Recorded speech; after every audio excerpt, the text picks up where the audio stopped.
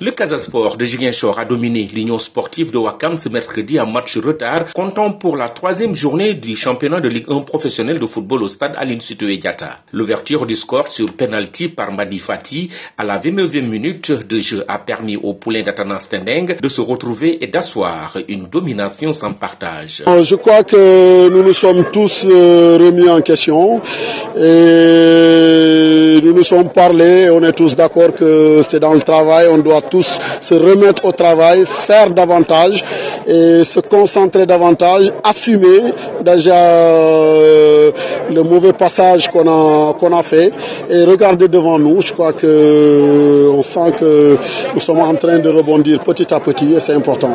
Ils ont mis davantage de rythme dans cette rencontre. La deuxième période sanctionnée par un but de l'attaquant Youssouf Badji. Ce dernier réussit à faire le break à la 68e minute, reprenant de la tête un corner bien tiré par Abdou Seidi. Youssouf Badji réussit même un doublé en marquant le troisième but du Casasport à la 82e minute de jeu. Entré en jeu au cours de la deuxième période, Moussa Maron a alourdi le score en marquant le quatrième but du Casasport en toute fin de match à la 89e minute.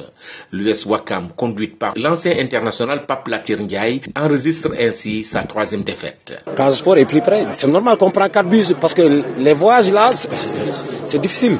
J'ai des cadets et des juniors, mais c'est normal. Mais le 15, Inch'Allah, les jours vont revenir et on, va s'en sortir encore. Parce que la fédération fait ce qu'il veut, pour abattre nous. Mais nous, on, fait, on, va faire tout, tout pour maintenir cette équipe-là. Cette équipe qui vient de réintégrer l'élite du football sénégalais n'a pu faire le poids devant le club fagnon de la zone sud du pays. Une troisième défaite après celle concédée contre la Linguère de Saint-Louis et la Génération Foot, le leader de ce championnat de Ligue 1 professionnel. Amadi Khalilou Djemé Radio-Télévision Walfadjiri.